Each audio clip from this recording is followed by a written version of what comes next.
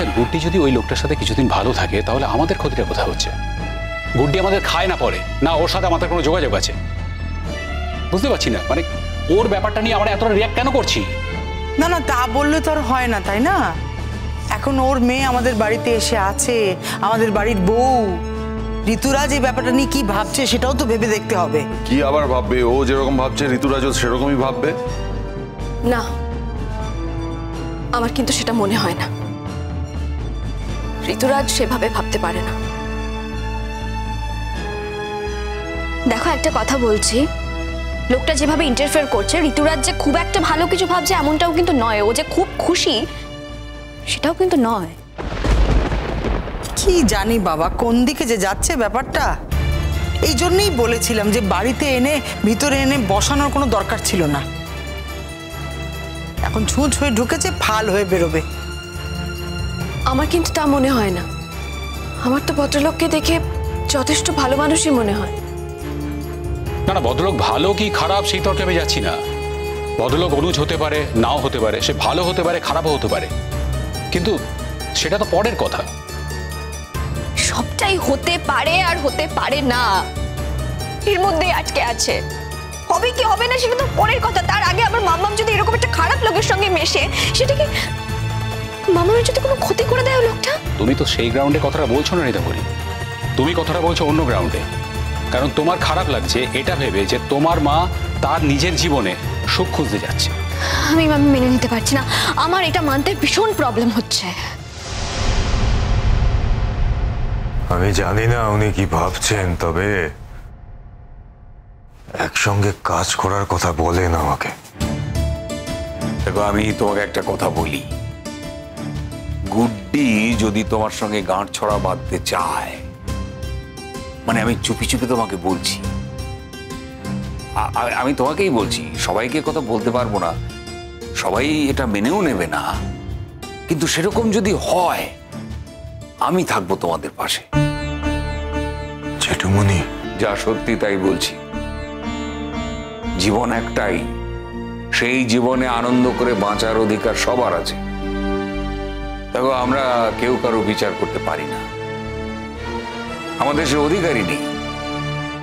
রীতাভরি যা বলেছে, সেসব ভুলে যাও। রীতাভরির সেই লোকাস্ট্যান্ডই নেই বলার। বুড্ডি ওকে অনেক বেশি সম্মান দিচ্ছে, তাই এখনও ওকে অ্যালাউ করছি, ওর কথা শুনছি।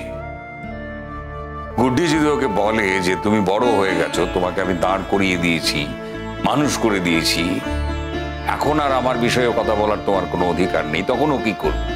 দেখুন, আমি জানি না, আমি গেসই করছি আর কি। যদি অশান্তির কারণ এটা হয়ে থাকে যে ও মনে করছে যে আমি ওনার সমস্ত মানে ওর মায়ের সমস্ত প্রপার্টি নিয়ে চলে যাব, কিংবা এরকম কিছু ঘটবে, তাহলে আমি বলব আপনারা ওকে একটু কনভিন্স করুন যে এরকম কিছু হবে না। হয়তো তাহলে ও একটু রিলিফ পাবে। আমার দিক থেকে ওকে কনভিন্স করার কোনো প্রয়োজন নেই। গুড্ডির দিক থেকে আছে। গুড্ডি মানে ওর মা যদি কাউকে ভালোবেসে সমস্ত সম্পত্তি দিয়েও দেয়, তাহলেই বা ওর কি করার আছে? ও কি কিছু করতে পারে? সেখানে ওকে কিছু বলতে পারে, বাধা দিতে পারে? না পারে না। তাহলে এসব কথা বলে লাভ কি? ওর মার পালিত মেয়ে বলে সব সম্পত্তি যে ওর কাছেই যাবে, এমন তো কোনো কথা নেই। তাহলে ও ডাক্তার হয়েছে, ও রোজগার করবে। আর ওর বিয়ে হয়ে গেছে ঋতুরাজের সঙ্গে। আর ঋতুরাজের বাবার যা আছে, সেটা তো ঋতুরাজ এবং ও দুজনেই পাবে। ওর তো সম্পত্তি নিয়ে ভাবার কোনো কথাই নয়। ও যদি সেটা ভেবে থাকে, তাহলে সেটা অন্যায় করছে। না, আমি আমি বললাম আর কি মানে যদি এরকম কোনো ইস্যু হয়ে থাকে, তাহলে এটা সলভ করা যায়। সম্পত্তি নিয়ে কি করব আমি? আমার তো কেউ নেই। তো ওইসব ব্যাপারে আমার কোনো কোনো রকম কোনো মাথা ব্যথাই নেই। আর দেখুন, আমি নিজেই তো জানি না যে আমি কোথা থেকে এসেছি, কোথায় যাব কদিন বেঁচে থাকব তাই জানি না। এরকম একটা সিচুয়েশনে টাকা, পয়সা, সম্পত্তি, কি হবে এসব দিয়ে? আমি জানি না, অন্য কেউ ভাবে কিনা। আমি ভাবি না। তুমি কি ভাবো, না ভাবো, তার উপরে কি গুড্ডি সম্পত্তি কাকে দেবে সেটা নির্ভর করে? আমি তো সাজেশন দেব যে গুড্ডি যেন তার সম্পত্তি কাউকে হস্তান্তর না করে।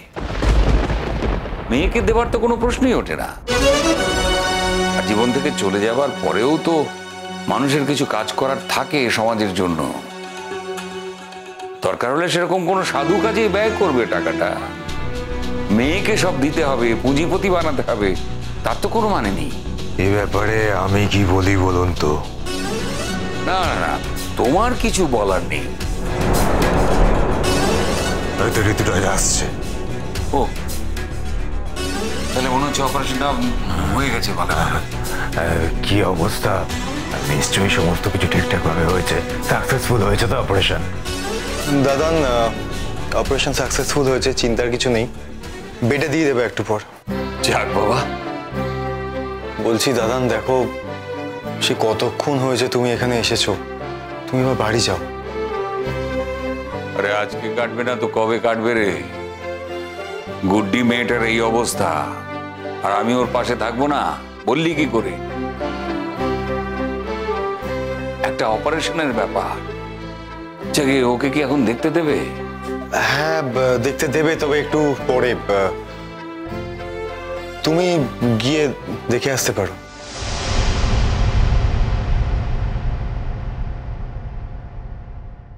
তিনকাল গিয়ে এককালে ঠেকেছে এখন এসব কোথায় এসে মেয়ের বাড়িতে থাকবি, আনন্দ আহ্লাদ করবি, আমাদেরও ভালো লাগে। পাহাড়ে যেতে ইচ্ছে করে তো যা না, গিয়ে কিছুদিন থেকে আয়। তা না করে এই সমস্ত কেলেঙ্কারির মধ্যে জড়ানোর কি দরকার? তোমার এই প্রশ্নটার উত্তর না আমি দিতে পারব না তোমাকে, মাম্মা। তবে হ্যাঁ তোমার প্রশ্নের মানেটা আমি বুঝতে পারছি। মানে তুমি জীবনকে এইভাবে দেখছ। আমি কিন্তু অবাক হয়ে যাচ্ছি রিদাভরিকে দেখে। এতগুলো বছর গুড্ডির সাথে থেকেও গুড্ডির আলো ওর মধ্যে এতটুকু ঢুকলো না। বরং অনেক বেশি অন্ধকার রয়ে গেছে ওর মধ্যে। দেখো, আলো, অন্ধকার এত কিছু না, আমি জানি না, আমি এত কিছু বুঝি না, আমি শুধু এইটুকু জানি, আমি শুধু এইটুকু বুঝি। মাম্মামটা তো আমার আমার মাম্মাম। তাই যা হচ্ছে না, শুধুমাত্র আমারই হচ্ছে, বাকি কারও কিচ্ছু হচ্ছে না। দেখ, রীতাবরী, তুই বলছিস যে এই বয়সে তোর মার এসব করা উচিত নয়। সুখের কি কোনো বয়স হয় রীতাবরী? সুখের কোনো বয়স হয় না রে। ভালো থাকারও কোনো বয়স হয় না। যে কোনো বয়সে যে কোনো সময় মানুষের ভালো থাকার ইচ্ছে হতেই পারে। আশা করি কথাটা বোঝাতে পেরেছি তোকে। ভগবান আমি তো বুঝতে পারছি না কি যে হবে। আমিও তো বুঝতে পারছি না। আমি তো ভাবতেই পারছি না এই বাড়িতে এই ধরনের সব ক- কথাবার্তা হচ্ছে। হবে হবে। এরকম আরও অনেক কিছু হবে। দেখো, দিন যাচ্ছে, সময় বদলাচ্ছে। হ্যাঁ সময়ের সাথে সাথে অনেক মানুষই নিজেদেরকে চেঞ্জ করে নিতে পারে, কিন্তু তুমি পারোনি সেটা তোমার সমস্যা মেজকা তবে হ্যাঁ আমরা কিন্তু নিজেদেরকে অ্যাডাপ্ট করে নিয়েছি। আর আমাদের সিদ্ধান্ত নেওয়া হয়ে গেছে। আর আমাদের সিদ্ধান্ত এটাই যে আমরা গুড্ডির পাশেই থাকব। হ্যাঁ ডেফিনেটলি ওই লোকটাকে আগে আমাদের জাজ করে নিতে হবে। সে জেনুইন না ফেক আর ওই লোকটা যদি অনুজ না হয়ে কোনো ভালো মানুষই হয় তাতে সমস্যাটা কোথায় আমাদের? কোনো প্রবলেম নেই। উই আর ওকে উইথ গুড্ডি কেন? আমরা দুজনেই যেতাম এক একজন করে যাব। ওনার দেখার তো কোনো প্রয়োজন নেই দাদান উনি দেখে কি করবেন? প্রয়োজন নেই তুমি এ কথাটা বলতে পারো না। আর কিসে প্রয়োজন সব তুমি বুঝে গেছো কি? আহ, দাদান আমি ডক্টর হিসেবে বলছি। শুধুমাত্র তুমিই যাও আর কেউ না। ঠিক আছে। জেঠু মনিব ঠিক আছে। জেঠু মনি অসুবিধার কিছু নেই। আপনি যান। আমি আমি বাইরে থাকব। আপনি দেখলেই হবে। আপনাকে দেখলে উনি খুশি হবেন। আপনি যান। দাদান ঠিক আছে চলো তাহলে ওপরে একবার যাই। আমার সিনিয়র ডক্টর আছে ওনার সঙ্গে একবার তুমি কথাও না হয় বলে নেবে। আহ, তবে বেশিক্ষণ ওয়েট করো না কিন্তু মানে দেখেই বেরিয়ে এসো ঠিক আছে? তুমি এসো। ওনাকে নিয়ে যাওয়ার কি আছে? একটা কথা বলি, ঋতুরাজ।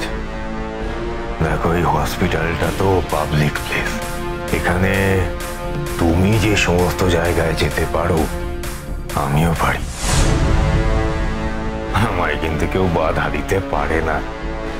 তুমিও পারো না।